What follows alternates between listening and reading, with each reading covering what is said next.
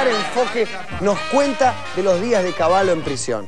En el puesto 10, un personaje tan insaciable que aún estando privado de la libertad, no se privaba de nada. Domingo Felipe Caballo. Caballo preso. Está angustiado. Sufre ataque de gula y de comida a toda hora. Cenó pata de cordero a la calabresa con abundante pan y vino. De postre, dulce de batata y queso por salud. Está angustiado. Sufre ataque de gula